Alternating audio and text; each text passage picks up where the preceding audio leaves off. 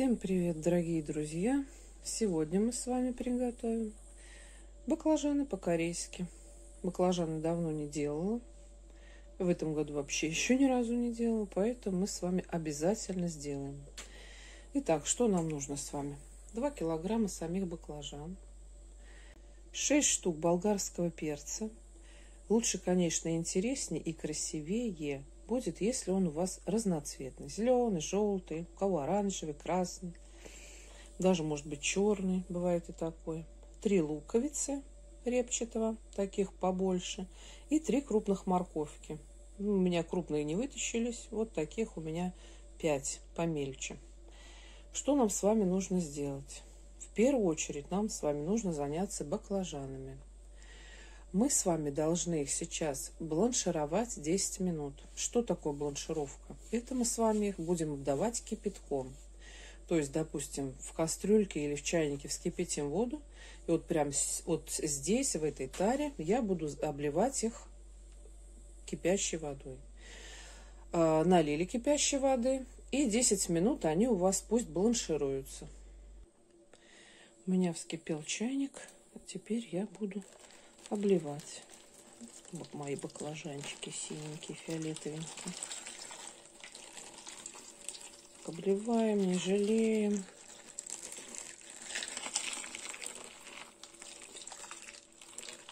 Красота какая.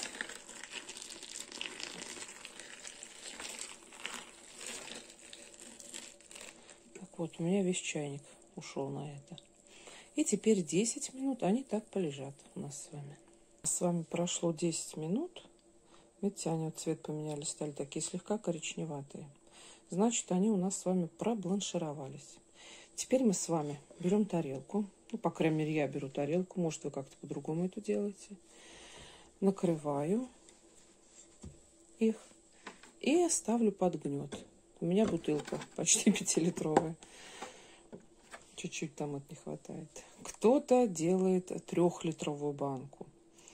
Раньше, я помню, у меня мама делала вообще камень громадный клала, ложила. Я делаю вот так в данный момент, потому что у меня сейчас есть такая большая канистра воды.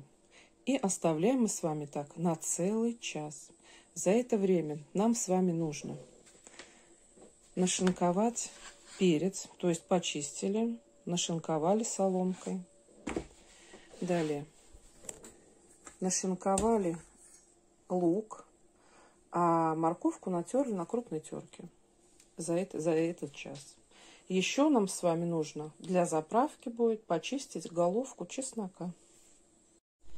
Мы с вами порезали вот так баклажаны такими вот брусочками, такими полосками, брусочками, как хотите. Добавляем теперь овощи. Лук порезанный морковку на терке, на крупной, и перец болгарский. Такая красота у нас получается. Теперь нам с вами нужно все это перемешать. Теперь мы с вами, когда все размешали, я вот размешивала руками, потому что ложкой нереально. Теперь мы с вами должны сделать заправку.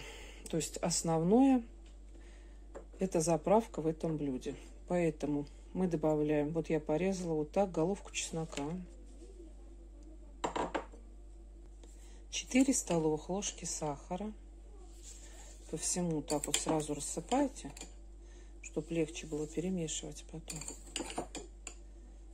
Но соль и сахар вы все равно регулируете, потому что у каждого свой вкус.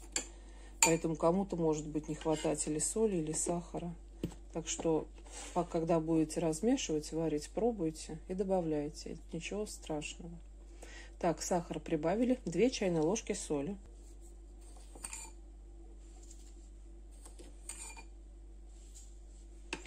Так, дальше что у нас идет? Одна чайная ложка черного молотого перца. Вот у меня вот столько. Я не совсем целую, потому что у меня дети еще едят все, все мои закрутки. Теперь нам нужно прибавить с вами приправу для корейской моркови. У меня не острая. Вы можете прибавить острую, кто любит вот сильно вот так, знаете, вот ядреную такую. Но я говорю, у меня едят дети, поэтому я добавляю не острую. Добавляем 2 чайных ложки. Такая вот красота получается. И еще одна. Пахнет просто замечательно. Добавляем 150 миллилитров подсолнечного масла. и 150 миллилитров 9% уксуса. Так, уксус добавили. Теперь нам нужно с вами все это тщательно перемешать. Когда мы с вами все это размешали, берем банки и накладываем на наши с вами овощи, плотно-плотно набивая банку. Крышку прикрываем, не закрываем, а прикрываем и стерилизуем. По желанию еще можно добавить зелень, не забыла сказать. В рецепте, конечно, этого нет, и мы иногда не добавляем, если нет зелени. В этом много петрушки, поэтому, так как мы любим зелень, я ее добавила. А вы как хотите. Можете добавлять, можете нет, можете укроп, кинзу, что угодно. Так, вот я все разложила. У меня получилось 6 700 граммовых банок. Такая красота пахнет. Вообще, смотрите, вот как красиво все там и сок. Даже вот я бы сырую, наверное, съела. Так пахнет вкусно вообще, обалдеть. Так, теперь мы с вами ставим стерилизовать на 20-25 минут. С момента закипания.